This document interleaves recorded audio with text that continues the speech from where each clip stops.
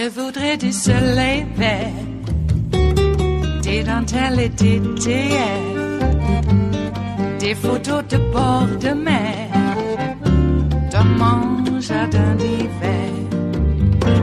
Je voudrais de la lumière, comme en Nouvelle-Angleterre. Je veux changer d'atmosphère dans mon jardin d'hiver.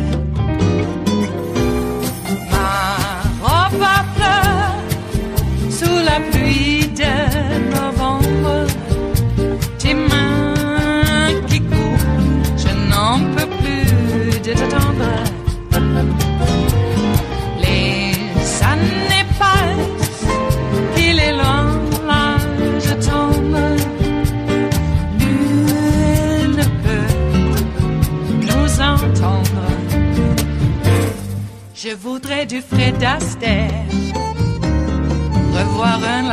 This evening, the president is calling his first defense secretary the world's most overrated general. That's a quote. Former four star Marine General James Mattis has broken his silence. That's what brought about the president's response. Mattis has released a scathing critique of Trump just days after Monday night's federal show of force in order to clear protesters out of Lafayette Square, an order sent down by Attorney General Barr to allow the president's photo op holding a Bible aloft in front of the church with the burned out basement and the boarded up windows. Here is part of what General Mattis has written, quote, I have watched this week's unfolding events angry and appalled. When I joined the military some 50 years ago, I swore an oath to support and defend the Constitution. Never did I dream that troops taking that same oath would be ordered under any circumstance to violate the constitutional rights of their fellow citizens, much less to provide a bizarre photo op for the elected commander in chief with military leadership standing alongside. Mattis goes on to say Donald Trump is the first president in my lifetime who does not try to unite the American people, does not even pretend to try. Instead, he tries to divide us. We are witnessing the consequences of three years without mature leadership. Well, as you might imagine, that's going to leave a mark. In an interview with his first press secretary, the president defended the decision to go to the church and his threat to use the military to put down the protests. We have very strong powers to do it. Uh, the National Guard is, is customary, and we have a very powerful National Guard, uh, over 300,000 men and women, and we can do pretty much whatever we want. Why didn't you go to St. John's the other day? I went there because somebody suggested it was a good idea, and I thought it was a great idea. I think everything was handled very well. I will tell you, religious leaders loved it. Religious leaders thought it was great. They loved it. He was asked tonight if the nation needs healing. He answered the nation needs law and order. In an earlier interview, Trump was asked about reports he had taken shelter in the White House bunker Friday night as hundreds demonstrated outside the executive mansion.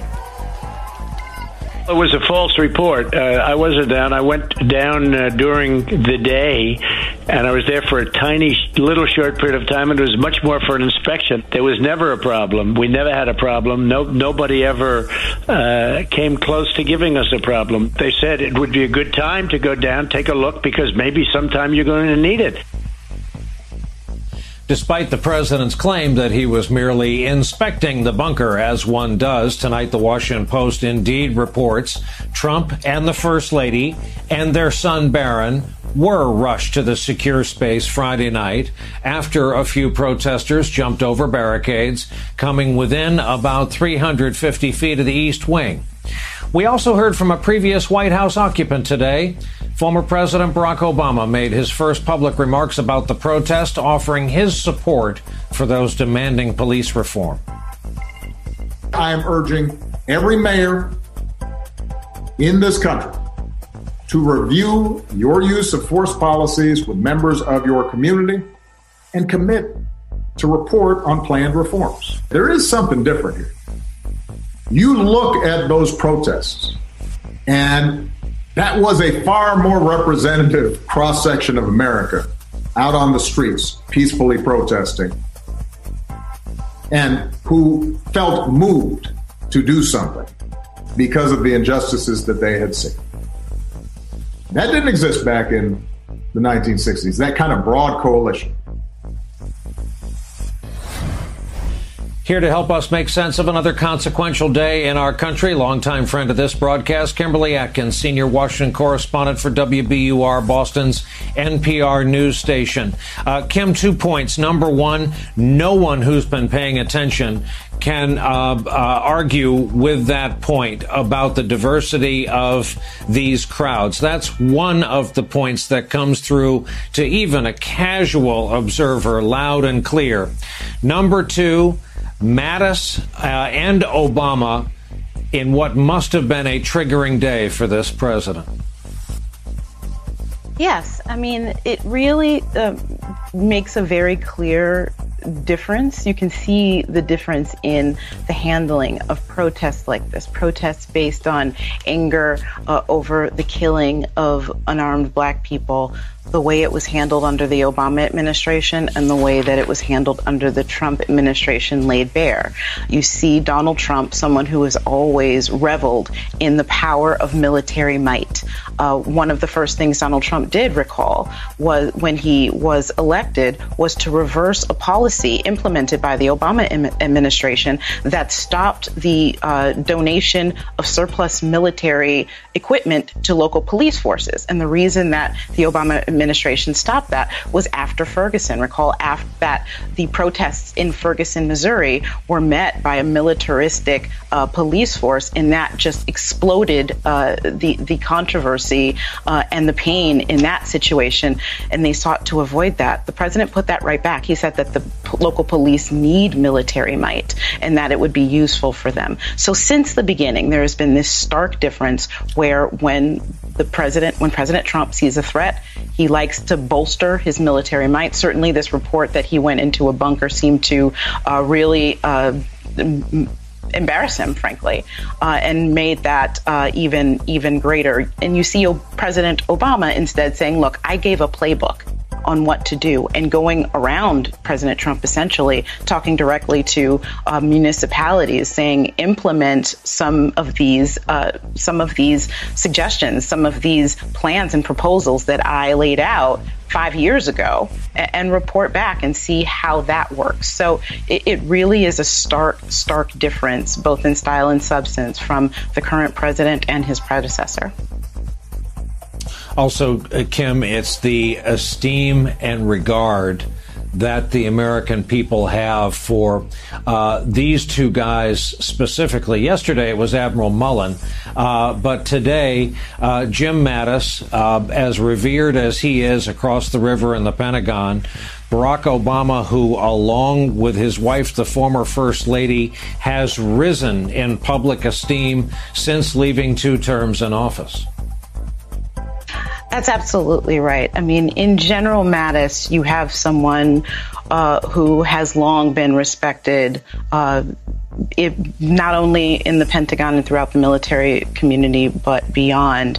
This isn't the first time he spoke out against the president. Of course, in his resignation letter, uh, he said that he did not share the same vision with the president, that he believed in building, uh, that Matt, General Mattis believed in building uh, coalitions with our allies and supporting them. Uh, and that's something that the president didn't. It took the president a day or so to realize that dig. And ever since then, uh, the president has falsely claimed that he uh, essentially fired Mattis rather than he resigning. But the these words today, uh, coupled with the words of the current uh, Defense Secretary, uh, Secretary Esper, before he walked it back a little bit, saying that he did not agree with the decision to disperse the crowd before the White House, uh, before the president walked to St. John's Church. Uh, he then called off military, active duty military in Washington, D.C., a decision that he reversed a few hours later. So there are still that there are still those active duty military military folks in here in the nation's capital. But there was there's been pushback within this community that is frustrated that the military is being called upon to treat American citizens as as combatants, uh, essentially, and, and, to police them on U.S. soil, something that goes against the law uh, and and it goes against the spirit of the Constitution. Uh, and so, yes, you see that pushback. That's something that did not happen at all during the Obama administration. It is Thursday, the 4th of June of 2020, and you are in West Coast Cookbook and Speakeasy. I am your chef de cuisine, Justice Putnam. Gunner the English Bulldog is our snoozing sous chef. And our daily special is Metro Shrimp and Grits Thursdays. A little bit of jambalaya. A little bit of spice in your life. Well, the uh, pandemic continues unabated. Uh, Trump hasn't really given up on it, he's just allowing it to do its work. The more people who die, the less people who vote because the more people who vote won't be voting for him. And he already knows that. And they are trying everything they can to make sure that if a vote is actually allowed in November, that very few people, well, let's just put it this way only the good Christians can vote, and only the good Christians are the ones that like Trump. Everybody else are bad Christians. Uh, God, this guy.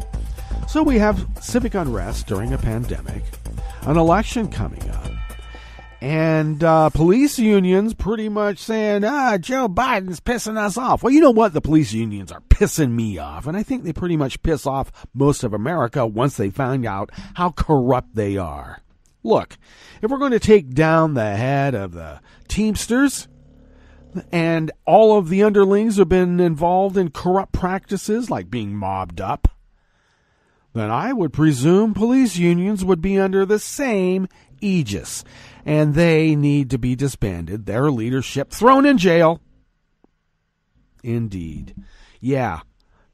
Joe Biden is pissing off the police union uh, presidents. Well, you know what? You piss us off. A lot of bullies going on there, you know. It's true. So uh, the police are rioting because they refuse to have any oversight, civilian or otherwise. Military contractors have been hired to shoot and fire upon American citizens.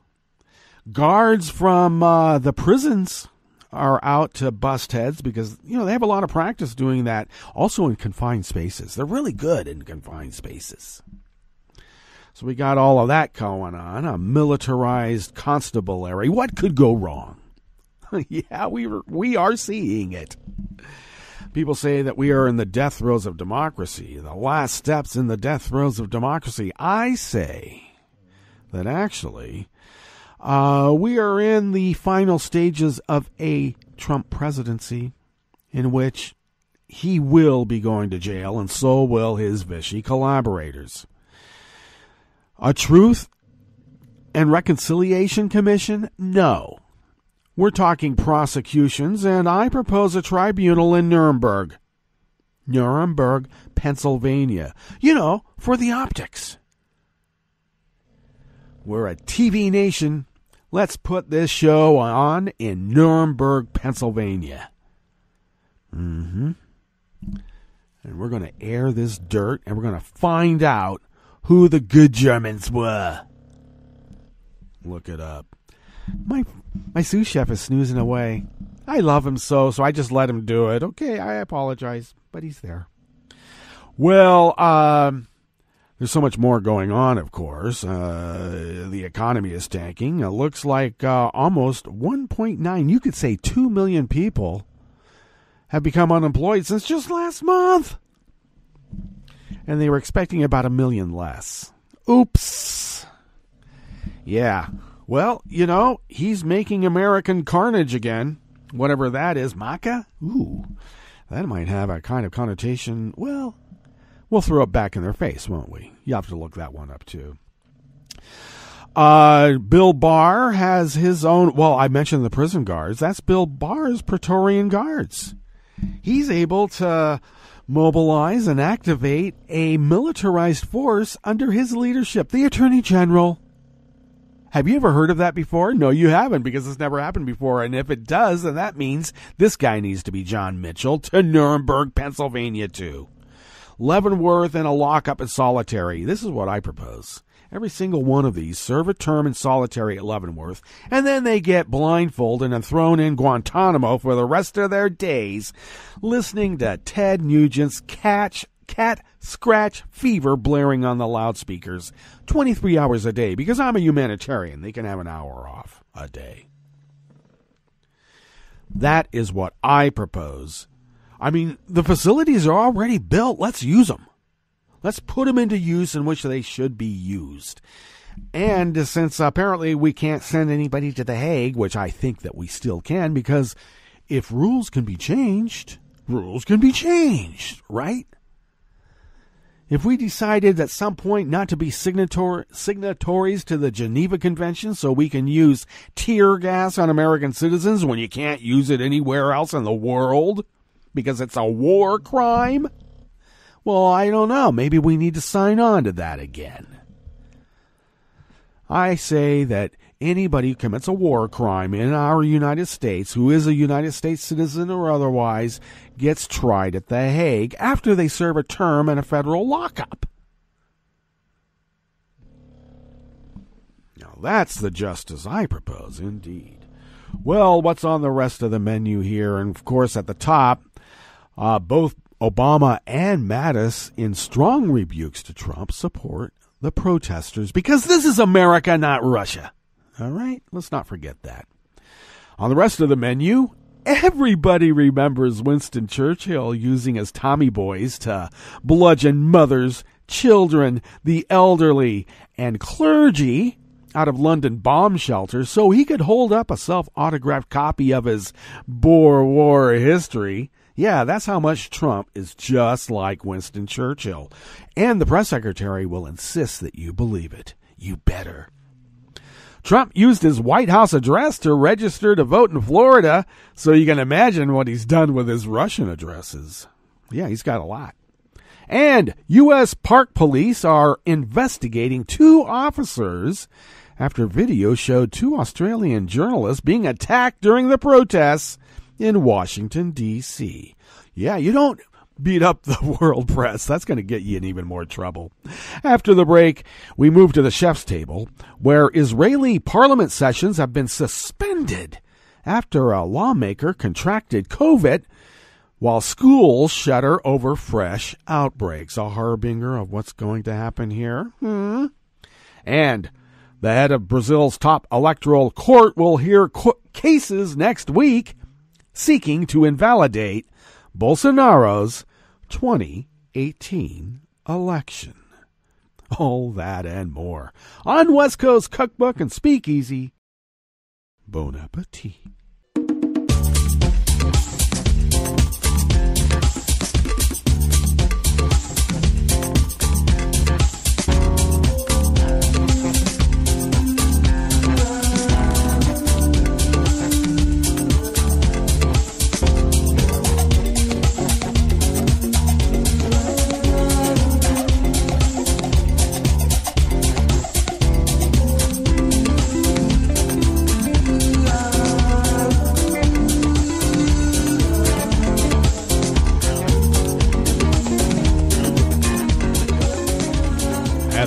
Bottom of our homepage at netrootsradio.com, to the rightish of the page, is our chat room link monitored by Kelly Lincoln. Thank you, Kelly.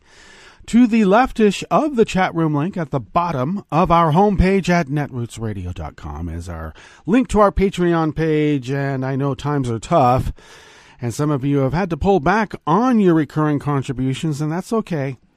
Uh, we are paying our bills, but uh, if there are those of you out there who are able to afford, say, an espresso type coffee drink, when we could go and get that with impunity, remember those days? If you could afford that uh, and send those funds to us once a month, uh, we're able to stretch those dollars because we have vast experience in doing so.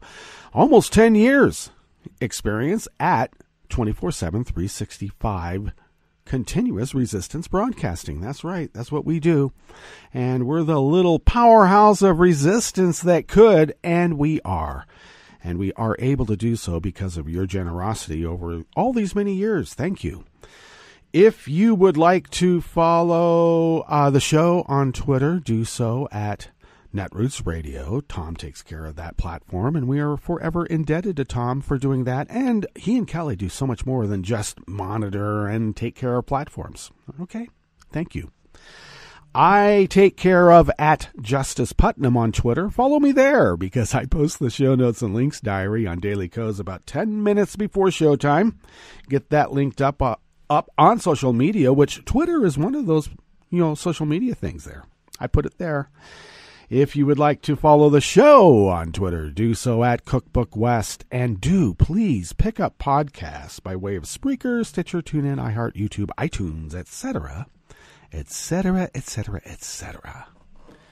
Okay, I know that if you look for podcasts on etc., you may or may not find them there, but they're mostly everywhere. Mostly. All right, we better dive into this first offering about how much Trump is just like Churchill. My God, the gall of these people. You know what also, also makes me a little angry this morning? Are these little Trump bootlicking kids who have, I don't know, they've barely been able to, you know, lick Trump's boots for, you know, even, I don't know, a few years of their lives, which hasn't been very much, taking on a four star general and trashing him. God, ugh. Lord of the Lies. Yeah, there's the island that they're going to be surviving on, I can tell. Oliver Willis penned this first piece, and he, of course, writes for the American Independent. Yesterday, Wednesday, White House Press Secretary Kayleigh McEnany compared Donald Trump's photo op with a Bible to the actions of British Prime Minister Winston Churchill during World War II. Yeah, we all remember what he did then. He was able to use his Tommy boys. What's a Tommy boy? I don't know. I kind of like the term. You can imagine. But you know, some sort of military or paramilitary unit to clear out London bomb shelters so he could have a photo op. Winston did that? Huh. Now, McEnany specifically compared Trump's three minute appearance outside a church after protesters were tear gassed to clear the site for him to Churchill inspecting sites of bomb damage during the London Blitz that killed tens of thousands of civilians. I think that maybe the the photo op is less akin to Winston Churchill and more akin to the Nazis bombing London during the Blitz.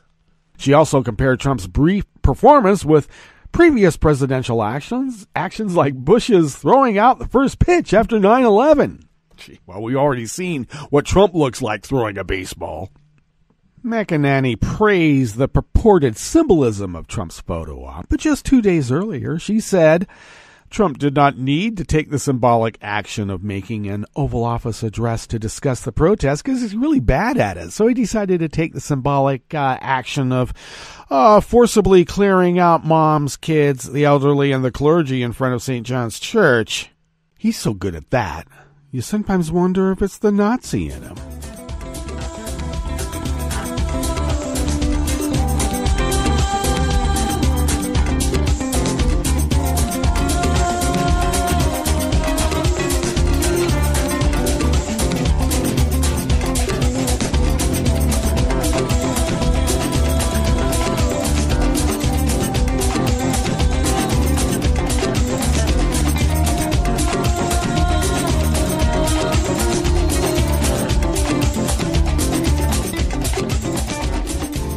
Singer of the American Independent brings us this next offering here in the Bistro Cafe of West Coast Cookbook and Speakeasy.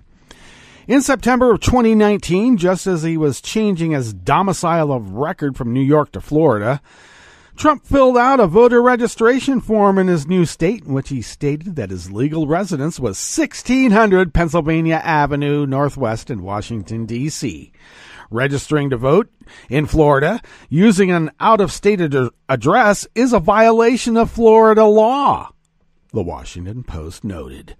Trump also listed his mailing address as his Mar a Lago resort in Palm Beach, directing that election related mailings should be sent to him there, courtesy of Sean McCabe. McCabe, the president and general manager of Trump Florida Property, spells his first name Sean, S H A W N, and Trump misspelled the name S E A N, which is also a violation of the law, and one that the GOP has been trying to criminalize for years. Boy, they always project, don't they?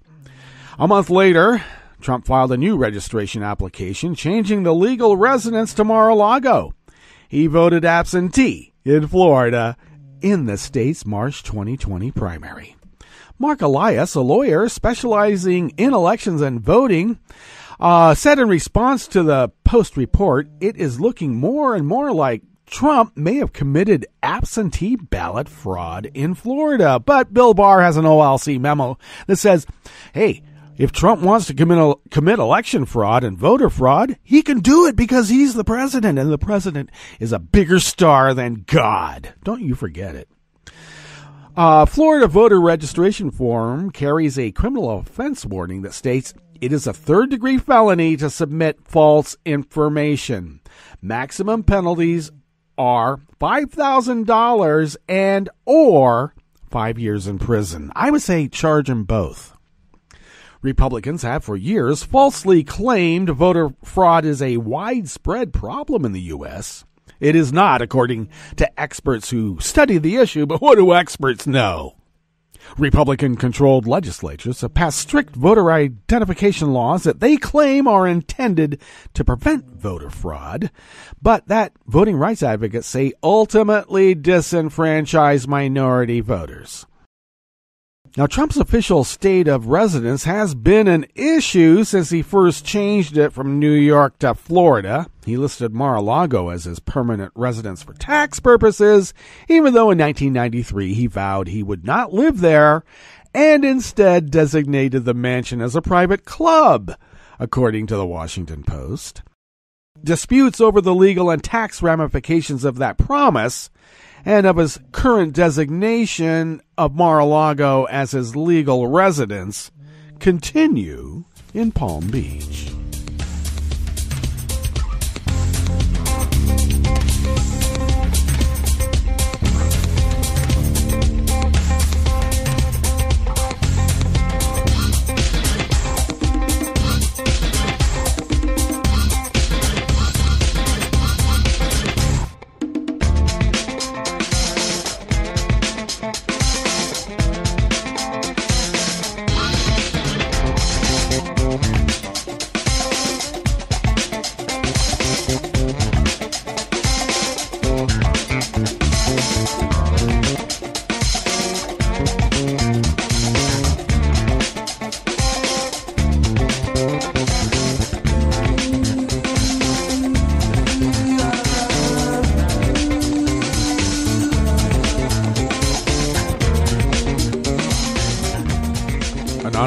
Worker bees at the Associated Press bring us this final offering here at the Bistro Cafe of West Coast Cookbook and Speakeasy. The U.S. Park Police said it has placed two officers on administrative leave after video showed two Australian journalists being attacked during Monday night's protest in Washington, D.C. Video captured by WJLA TV in Washington showed reporter Amanda Brace and cameraman Tim Myers being assaulted as law enforcement officials cleared an area near the White House so Trump could walk to a nearby church that had been damaged during the, the demonstrations the previous night. Actually, it wasn't really damaged. They had a small fire in the basement and it was no big deal, according to the clergy at St. John's. But I digress. The journalists were, were reporting live for Australia's Channel 7 on the demonstrations protesting George Floyd's death at police hands in Minnesota. As is consistent with our established practices and procedures, two U.S. Park police officers have been assigned to administrative duties while an investigation takes place regarding the incident with the Australian press. Monahan said in a statement posted on Twitter. Australia's ambassador to the U.S. has complained about the attack that the network's news director Greg McPherson described as nothing short of wanton thuggery. Well, that explains the police in America pretty well, don't you think? I'd like to have some thuggery on the Barbie. Australian Prime Minister Scott Morrison urged Australians involved in Floyd related anti racism protests around the world to be extremely cautious after attacks on um, Australian journalists in Washington and on Wednesday in London. In terms of the violence that we're seeing around the world today, for those Australians who find themselves in those situations, I would urge them to show great caution, Morrison told reporters. These are dangerous situations. People should exercise great care in where they're placing themselves, he added, especially when near the American police. All right, that brings us to our break, and when we get back from that break, we will go through weather from around the world, and we will finish up with the stories that we've curated for you today. You are listening to West Coast Cookbook and Speakeasy, and we will be right back. You are listening to netrootsradio.com. Please hang up and try again.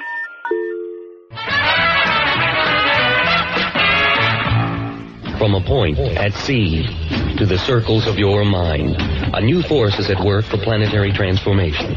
New radio for a new Earth.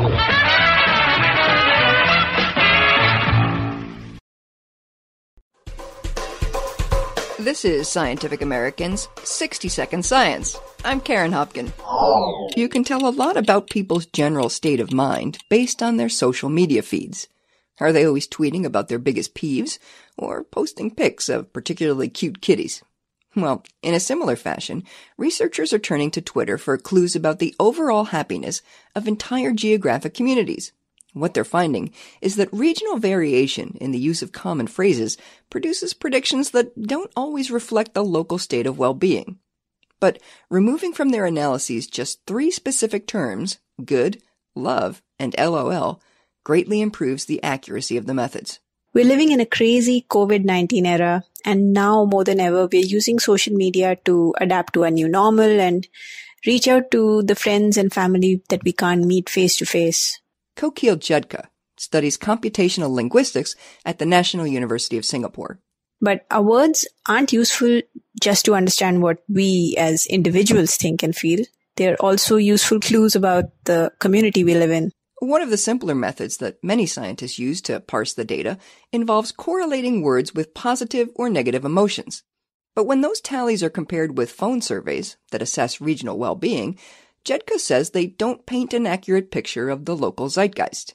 To find out why, Jaidka and her colleague Johannes Eichstaedt of Stanford University analyzed billions of tweets from around the United States, and they found that among the most frequently used terms on Twitter are LOL, love, and good and they actually throw the analysis off. In fact, when we removed these three words alone, we managed to improve upon the simpler word counting methods and obtain better, if not perfect, estimates of happiness. Why the disconnect? Well, Jaidka says one issue is Internet language is really a different beast than regular spoken or written language. We've adapted words from the English vocabulary to mean different things in different situations. Take, for example, LOL. I've tweeted the word LOL to flirt, express irony, annoyance, and sometimes just pure surprise.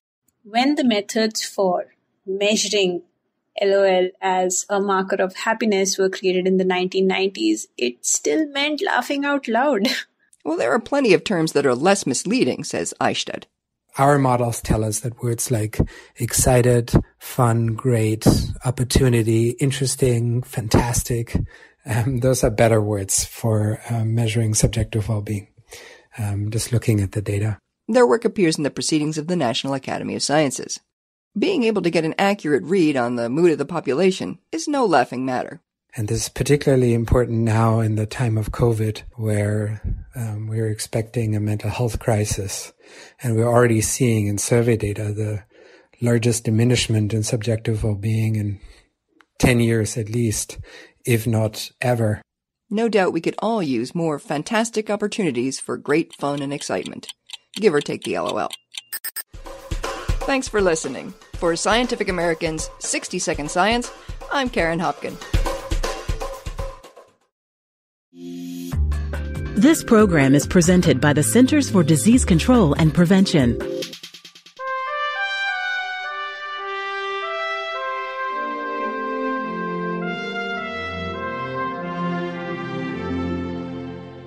Welcome to A Cup of Health with CDC, a weekly feature of the MMWR, the Morbidity and Mortality Weekly Report. I'm Dr. Jeffrey Nemhauser, filling in for your host, Dr. Kathleen Dooling. As the U.S. population ages, more people are at risk for injuries.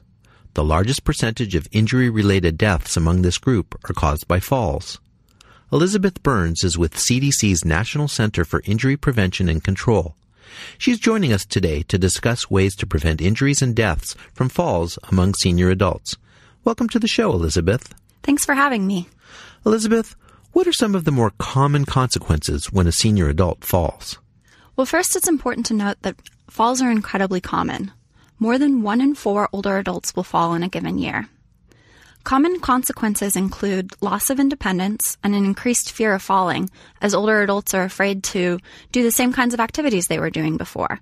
And this can actually lead to more falls as older adults have less strength in their lower body. Common consequences include hip fracture and traumatic brain injury. And ultimately, in 2016, almost 30,000 older adults died because of a fall. So are falls more common in men or in women? Falls are more common in women, and more women go to the emergency department because of a fall, and more women die because of a fall. However, the rate of fall deaths are more common in men than women. What this means is that out of 100,000 men, more will die from a fall than out of 100,000 women. What are common causes of falls among older people? Getting on and off the toilet and getting in and out of bed are common causes of falls. Walking around the hallways at night when the lights are off is a common way people fall. There's also an increased amount of medications used in seniors, which have side effects like making them lightheaded, and that increases the risk of falls and is a common cause. With all of those factors, what are some ways our listeners can decrease their chances of falling? Older adults should talk to their healthcare provider or doctor about how they can decrease their chances of falling. This can be done during the annual wellness visit or during annual physicals. The doctor will recommend an exercise program that should increase strength and balance or maybe refer you to a physical therapist. Additionally, they can look through your medications and perhaps reduce your doses or suggest medications that decrease your chances of falls. Are there things we can do to modify our homes to prevent falling? Oh, absolutely. Installing grab bars on the side of the toilet, making sure that rugs are taped down or removed, making sure that there's lighting in the hallways are all really simple ways that an older adult can modify their home to prevent falls. Where can listeners go to get more information about preventing falls? Listeners can go to cdc.gov slash steady, and that's spelled S-T-E-A-D-I. Thanks, Elizabeth. I've been talking today with Elizabeth Burns about ways to prevent fall related injuries and deaths among senior adults. Improving strength and agility through regular exercise and removing potential obstacles in the home can help decrease the risk for falls. If you or a loved one is older and struggle with mobility, talk with a healthcare provider about ways to decrease the risks for fall related injuries and death. Until next time, be well. This is Dr. Jeffrey Nemhauser for A Cup of Health with CDC. For the most accurate health information, visit cdc.gov or call 1 800 CDC Info. He seems sorry. We very clearly told him not to look up there. I'm honestly impressed that he was able to do it. Right? What did he balance on that big chair? Or... Yeah, I mean, I guess he'll just know what his gifts are this year. I really thought we had hidden them well. If they can find their presence, they can find a gun. 911, what is your emergency? Every day, eight kids and teens are unintentionally killed or injured by loaded and unlocked guns. Learn how to make your home safer at endfamilyfire.org. Brought to you by the Ad Council and End Family Fire. Hi, it's Tom. Could we humbly suggest your donation to netrootsradio.com? All we've got to run this 24 hour powerhouse of progressive resistance radio is what comes out of our own wallets and you. You are our biggest donor. And it doesn't take much $3, $5. Just go to the bottom of our netrootsradio.com page and hit our secure donate button. Heck, you can even make a recurring contribution, and you'll get a wondiferous pair of Netroots radio stickers for application to your backpack, your bumper sticker, or your banjo. Well, it's up to you which backpack you want to put it on. So donate what you'd like at the bottom of our netrootsradio.com's homepage because you are our biggest donor netrootsradio.com. Together, we are Resistance Radio.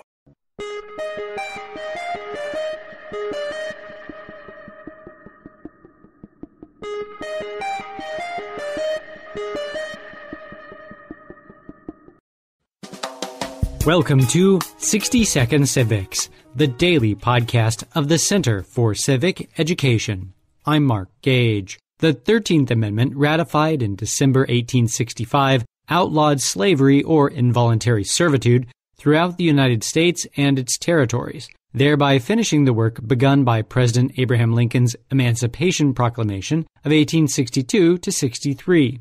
The Emancipation Proclamation abolished slavery in the states that were members of the Confederacy, but not elsewhere. The 13th Amendment said nothing about citizenship and equal civil rights for the former slaves, especially their right to vote. These matters were later taken up by the 14th Amendment in 1868 and the 15th Amendment in 1870. The 14th Amendment granted full citizenship to African Americans. The 15th Amendment guaranteed the right to vote to men regardless of their race, color, or previous condition of servitude. That's all for today's podcast. 60 Second Civics, where civic education only takes a minute.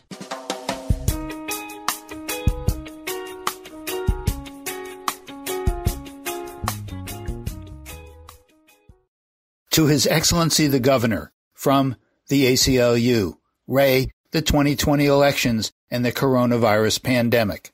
I'm Bill Newman, and this is the Civil Liberties Minute. The April 22nd letter to Massachusetts Governor Charlie Baker and other high state officials begins with two undeniable propositions that voting is a fundamental right and that the coronavirus pandemic should not be allowed to compromise that right. The letter commends the Secretary of the Commonwealth, who oversees elections, for having concluded that a voter qualifies for an absentee ballot if the voter is ill or quarantined or staying at home or avoiding a polling place as a precautionary measure, and then highlights other necessary steps, including robust education and funding to ensure that widespread voting by mail takes place, which will require, among other things, the printing and distribution with postage prepaid return envelopes of absentee and early voting ballots in a number of languages. The state should also expand early voting from the present 11 days before an election to 20 or 30. For those who will need to vote at polls on election day, a sufficient number of polling places is vital because enough polling places in appropriate locations, along with mail-in and early and absentee voting, will shorten lines, allow greater physical distancing, and help protect poll workers and voters alike, all of which is critical at this time to the preservation of democracy. The Civil Liberties Minute is made possible by the ACLU because freedom can't protect itself. I'm Rick Smith, and this is Labor History in Two. On this day in labor history, the year was 1904. That was the day when 900 Wisconsin papermakers walked off the job from Appleton to Menasha, from Combined Locks to Neenah. They were members of the International Brotherhood of Papermakers. At the turn of the 20th century, paper mills were an important industry in Wisconsin. The workers in these mills toiled long hours under grueling and dangerous conditions. According to historian Robert Azone, quote, many had fingers cut off, arms burned, and bodies mangled by the open machinery and the hot rolls and felts in the mills the workers started organizing into unions and conducting work actions, but they had little success bargaining with the mill owners. In the Wisconsin River Valley, the workers on the night shift were especially frustrated about having to work on Saturday nights. They wanted a reduction in hours and an end to the Saturday night requirement. And on this day in labor history, the union called for a strike to begin that Saturday evening at 6 p.m. Mill owners scrambled to find local mill workers willing to scab against the strike, but they had little luck. The strike began and the workers walked off the job at 11 mills. For 10 days, things for the workers went well and the strike was peaceful. Then the mill owners brought in replacement workers from out east. Skirmishes broke out between the scabs and the strikers. The scab replacement workers had taken away the leverage that the striking workers had had against the mill owners. Some of the strikers began to return to the mills, and the strike was defeated. Within three years, the Brotherhood of Papermakers would close its last lodge in Wisconsin, but worker organizing within the paper industry would continue forward. Labor History in Two brought to you by the Illinois Labor History Society and The Rick Smith Show. This is Solidarity News on Radio Labor. I'm Mark Boulanger. This is about the very survival of the human race. That is Sharon Burrow, the General Secretary of the International Trade Union Confederation. The ITUC is the organization which represents national union centers such as the Ghana Trades Union Congress at the world level. The Confederation is calling on unions to participate in a World Day of Action to combat climate change on June 24th. CEPOW, Climate and Employment Proof Our Workplaces, June 24th. Join the greatest conversation we've had on these issues recovery, resilience. We need a new social contract. The social contract has broken. We already had a convergence of crisis. Inequality was at historic highs. We know the labour income share or wages and social protection had slumped for working people and their families everywhere. Job insecurity. But we also had climate emergency. This is about the very survival of the human race. And progress for women on every indicator had stalled. We were also dealing with not just the demand for just transition for climate and employment, but indeed for technology, because we face choices about the best and worst of technology. So, as we indeed recover from the health crisis of COVID 19, as we invest in our public services, so never again do we underfund public health, we have to also grow jobs. We are facing the greatest employment devastation since the 1930s depression, could be three times as high as that. So we will start to talk about the new social contract that will be able to see us have hope in recovery and resilience. So the time we have the next crisis, whatever that looks like, we know that our workplaces are indeed employment and climate proof.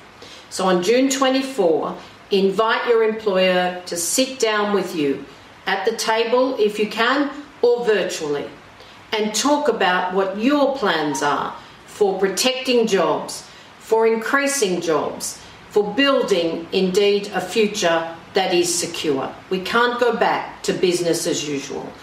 Climate and employment proof our workplaces.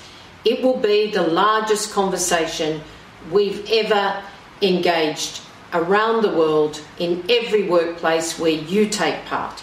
We're also, of course, inviting you to make a small video to let us know that you support the action and to invite other colleagues and friends, just two colleagues or friends, to join and do the same. It's in our hands to demand that we build recovery and resilience, that we deal with all the areas of crisis that are breaking down the security of our world of work. And we do it in order to see that the fight for a new social contract is realised, that just transition for all these areas of crisis and social dialogue sit at the heart of recovery with a resilience that means we're ready for whatever global shock comes after that. We are facing massive global shifts. Just transitions are critical. COVID 19 has exposed all of them, and we will be at the heart of demanding a new social contract for recovery, for resilience. Thank you. Solidarity, hashtag CEPOW. Kapow. And that's it. International labor news you can use. You can listen to our features and daily newscasts at radiolabor.net. Follow us on Twitter at Radio Labor. I'm Mark Boulanger. Thank you for listening. And remember, it's all about caring for each other through global solidarity.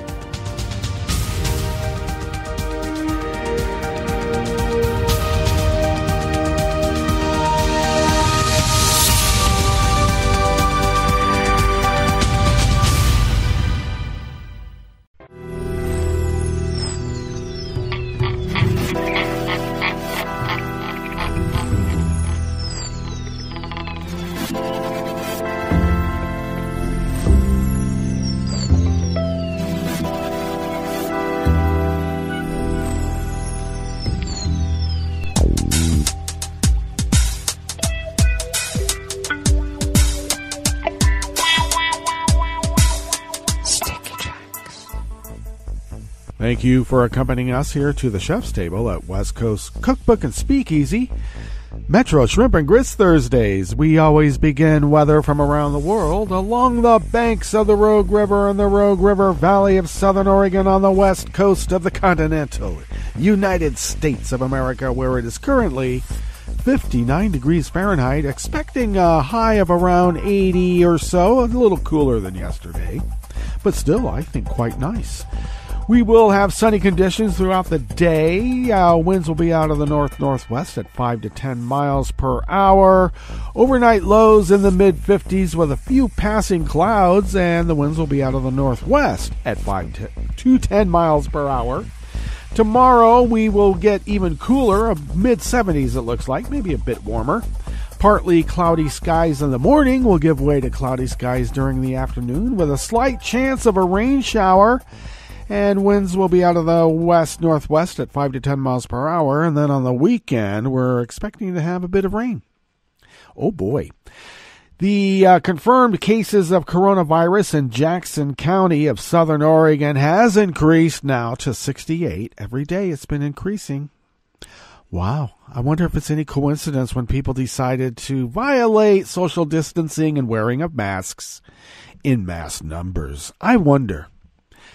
Let's see. Oh, pollen. I believe it's uh, grass pollen. Yes, indeed. Is rated very high right outside the window of the mothership.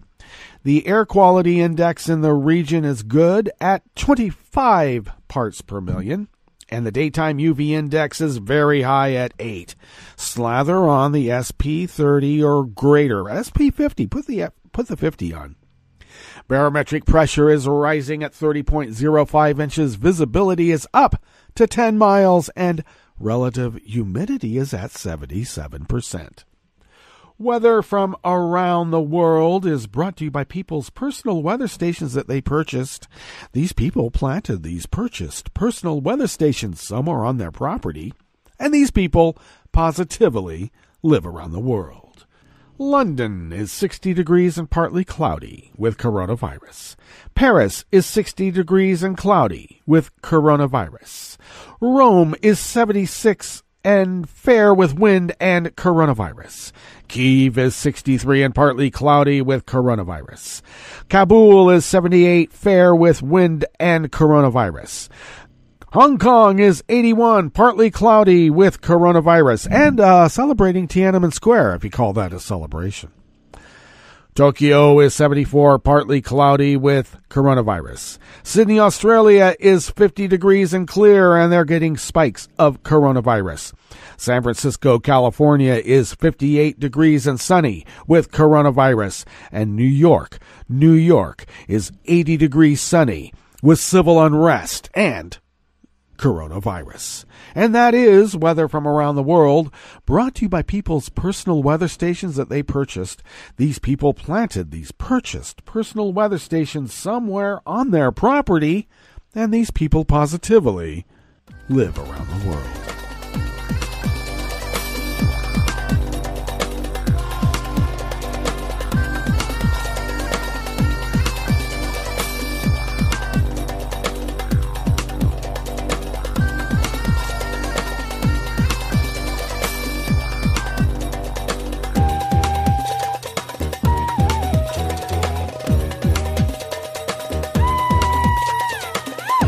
Anonymous worker bees at Reuters bring us this first uh, amuse bouche here at the chef's table at West Coast Cookbook and Speakeasy Metro Shrimp and Grits Thursdays. A little bit of jambalaya, a little bit of spice in your life. Israel's parliament suspended sessions scheduled for today after a lawmaker tested positive for the coronavirus, while some schools shut down anew amid worries about fresh outbreaks. Having moved aggressively against the global pandemic in March and seeing a trailing off of new cases, Israel has eased curbs in recent weeks, but officials warn that public complacency could lead to a resurgence in cases. Oh my. The 120 seat Knesset said non essential staff have been asked to stay home, and all of today's committee meetings were postponed, quote, pending an investigation of the ramifications, end quote, of lawmaker Sami Abu Shadeh's having contracted the coronavirus. I appeal to all of those who have been in my immediate vicinity to self isolate and get tested, he said on Twitter. The virus is still among us, and a return to so called routine helps the virus spread with greater magnitude and speed. It's a warning to us, too, folks. Please. Israeli schools reopened last month, but worries have grown that some children are infecting others despite a slew of precautionary measures. Israeli media reported on Thursday today that as many as 42 schools had closed over fresh outbreaks. The education ministry did not immediately confirm the figure. Any educational system in which there is morbidity will be shut, Benny, Benjamin Netanyahu, I think they call him Benjamin Netanyahu, said in a statement, adding that school staff would continue seeking ways to protect and distance students from one another. Israel, which has a population of 9 million, has reported 17,343 coronavirus cases and 290 deaths. More than 593,000 people in the country have been tested for the virus.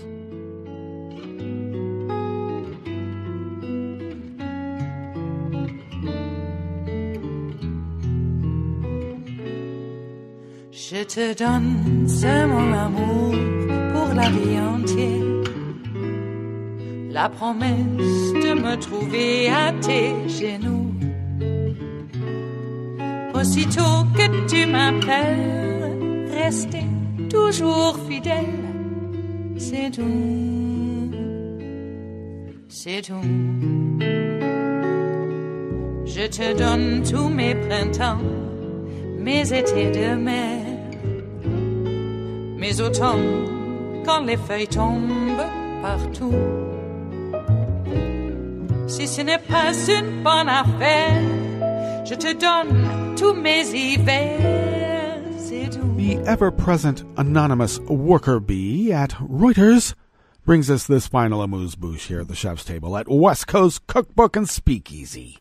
The head of Brazil's top electoral court will will hear arguments on Tuesday of next week related to two cases seeking to nullify the 2018 presidential election which was won by current President Bolsonaro, the court said in a statement yesterday, Wednesday. The cases, which have moved in fits and starts since November, were brought by leftist election rivals Marina Silva and Guilherme Boulos and relate to cyber attacks committed against Bolsonaro's campaign rivals. This might be a difficult case in which to prevail in, but it may also lay bare maybe uh, some of the private contractors that have been contracting around the world for similar results. Similarly. That brings us to the end of our broadcast period for the day, but you do know Netroots Radio will broadcast on, and we're going to meet up tomorrow for Blue Moon Spirits Fridays because we are all Nighthawks in the Diner of Life. So do stay tuned to Netroots Radio all day and all night for all the breaking news as it breaks, and we'll meet up here tomorrow, right here in West Coast Cookbook and Speakeasy. Bon appetit.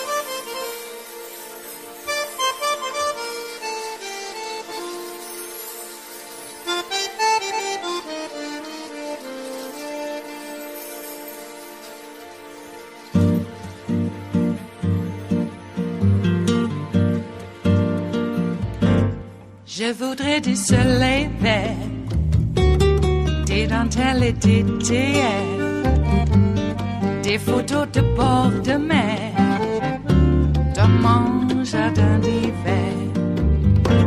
Je voudrais de la lumière, comme en Nouvelle-Angleterre. Je veux changer d'atmosphère dans mon jardin d'hiver.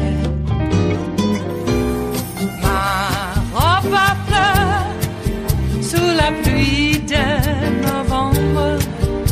Tes mains qui courent, je n'en peux plus de t'attendre. Les années passent, qu'il est loin, là je tombe. Nul ne peut nous entendre. Je voudrais du Fred Astaire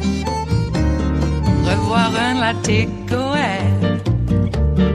Je voudrais toujours te plaire dans mon jardin d'hiver. Je veux déjeuner par terre comme au long de golfe clair. T'embrasser les yeux ouverts dans mon jardin d'hiver.